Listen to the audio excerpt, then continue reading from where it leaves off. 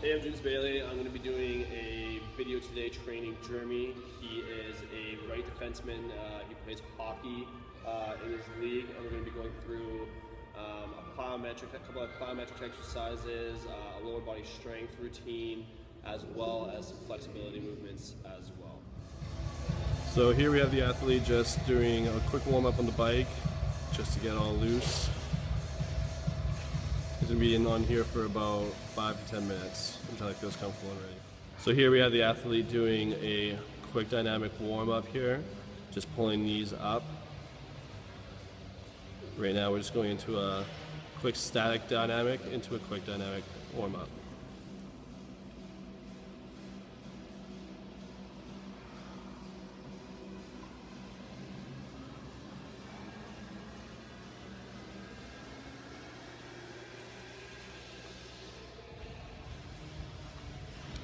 Doing quick quad stretch into butt kicks.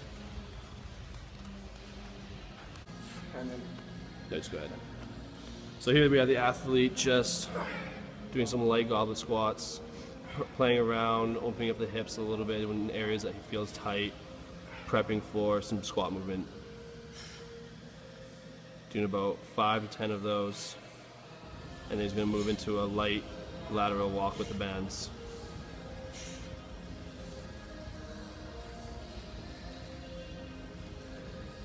Just staying in a strong athletic position here. Just taking about 10 steps, 10 yards, and then he's coming back.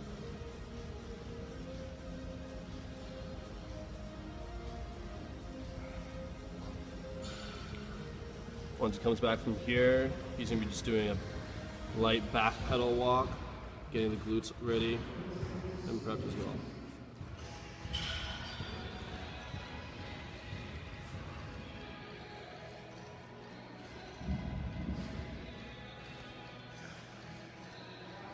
So here we just have the athlete playing with a doing a hockey specific exercise. Usually you'd want to use a, an actual hockey stick, but we didn't have one today. And we're doing about 10 seconds each leg for about five rounds. Getting him used to doing balance and stick handling at the same time. So here we just have the athlete working on some single leg unilateral plyometric exercises. Very important when it comes to hockey specific exercises right here we're just to be doing about six sets, two reps, around 30 to 45 seconds rest. So here we have the athlete still working on some power movement exercises. He's going to go into from two legs to single leg, two reps each. Having a strong carryover into hockey. One of our main focuses is going to be on the power output of uh, the legs as well back squat that Jeremy's about to go through. Uh, I'm going to warm up in this rack and then we're going to be moving on to the power rack uh, in the other side of the gym pretty soon.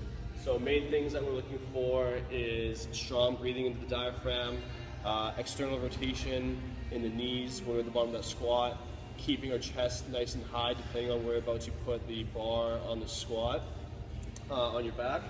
And, uh, and yeah, so I'm to go through a quick demonstration. So first thing, come in, deep breath already, unwrap, walk out, set feet, depending on hip anatomy and how the athlete likes to squat. And then you're just simply just be coming down, back butt, going up.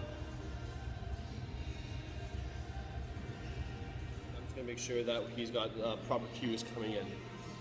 So he's gonna be doing the exact same thing, finding a shoulder width that he likes. He likes to squat high bar, First thing he's doing is taking the butt out and almost simultaneously bringing the knees forward at the same time, keeping chest nice and high and coming up.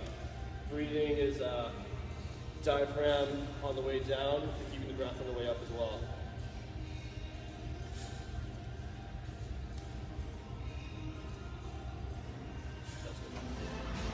So we just have Jeremy warming up here, getting nice and comfortable.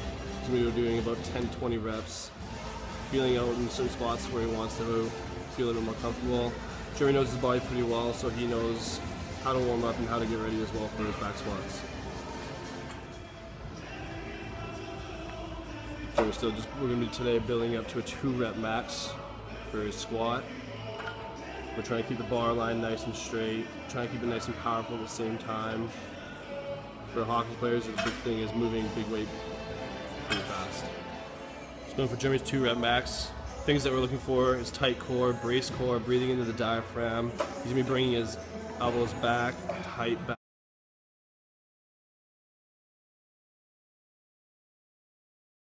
Getting the bar movement nice and straight as well. So here we have Jeremy performing the multi-directional three-point lunge slide. This is one of my favorite hockey-specific exercises when it comes to strengthening and stability. He's gonna be going through this. He's gonna be doing about three reps each way, three times. So that's good. Switching legs. He's keeping the weight down right now on his right leg while still keeping down a nice stability and strength down on his left leg in the three point. This is very has very strong crossover to hockey when it comes to providing power off of the push when skating. So we're still working on some unilateral exercises. We're going to try to bust in an exercise um, to strengthen the glutes and work on the hip hinge during the exercises. So we're going to be doing a single leg glute bridge off the bench. I'm just going to do a quick demonstration for Jeremy before he gets into it. So first thing, we're going to get nice and set. Bring hips nice and high. Leg comes up. Coming down nice and controlled, elbows on the bottom. Explosive movement.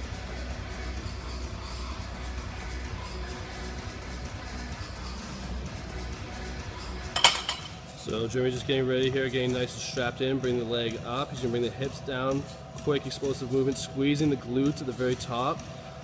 He's gonna be feeling it here in the glutes and the hamstrings. Still working on that unilateral power.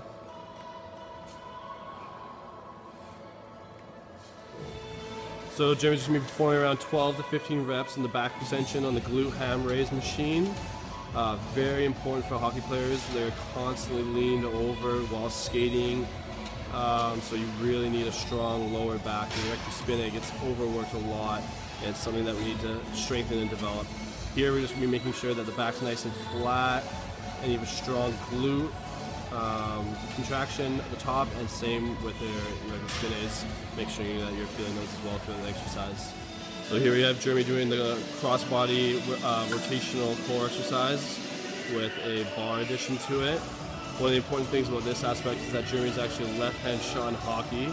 So one of the things that we focus on is keeping and working on the imbalances that hockey players can have on the overuse of doing the external on, on the rotational on the core exercise when they're left-hand shot. They tend to lean one way. So one of the things we want to do is attack those imbalances and make the athlete more complete. This is super strong exercise it has a really good crossover to hockey performance as well. One of the cross core rotationals that we use. So now we have Jimmy working on the conditioning part of his exercise. He's just to be doing about uh, 40 yard prowler sprints. He's to take it there and then come back as well. What's really nice about these prowler sprints is that they mimic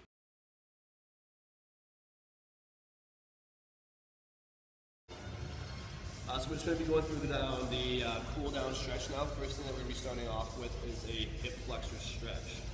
So it's going to be coming down, squeezing the glute. If you want to do more of an advanced variation of the hip flexor stretch, just bring your arm up and then lean into it slowly.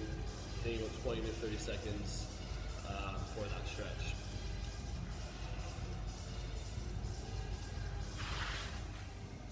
Next cool down stretch is just going to be touching toes to the best of your ability, keeping the legs nice and locked. The knees are going to be locked here.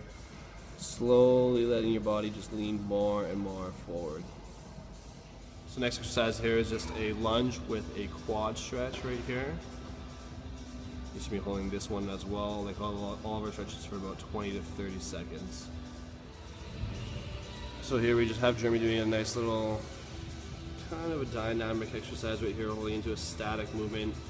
And gonna be This is helping you stretch the hamstrings, the lower back, opening up the hips. When he goes into the side movement as well, he's also stretching the lats, the oblique. Seeing a lot of multiple stretches throughout this one. Holding each movement for about 10 to 15 seconds, switching up, hitting each spot about three times. So for this one, he's just getting into a nice relaxed position. He wants to feel it. It's about in the glute and the glute medius as well. Be, might be feeling a bit into his uh, IT band and his hamstrings as well. Can also move around, find some tight spots, and really just lean into those movements where he's fi- finding little tight spots in his hips and his glutes. Same thing, holding for around 30 seconds for uh, the stretch. Just finding finding those nice spots to, uh, where you get really comfortable and trying to loosen up the tight muscles. So here we have Jimmy performing the calf stretch. Gets into, into a just nice spot against the wall where his foot is up and he just slowly leans it more and more into his calf, playing around, so finding those tight areas as well. Often uh, the calves are a muscle that are overlooked when it comes to a stretching routine as well. Holding this for about 30 seconds for each side.